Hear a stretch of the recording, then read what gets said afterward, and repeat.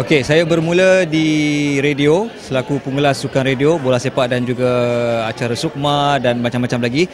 Selepas itu dibawa ke sukan TV pada 2008 bermula dengan Liga Bola Sepak Liga Malaysia. Uh, dan dengan Piala Dunia 2010 dan juga rancangan uh, Wisma Penamat dan juga Stadium Angkasa. Itu antara rancangan-rancangan yang saya terlibat di RTM.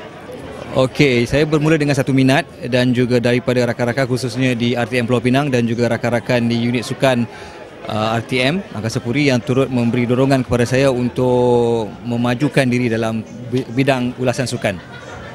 Sudah semestinya yang pertama minat. Kena ada minat dalam acara sukan ataupun dalam bidang sukan semestinya minat itu dapat mendorong kita untuk lebih uh, uh, bergerak cergas dan juga mendalami dalam acara sukan. Dan uh, yang kedua sebagai pengulas sukan kita perlu banyak membaca dan yang pastinya perlu mendapatkan maklumat setiap hari tentang perkembangan sukan dalam dan luar negara.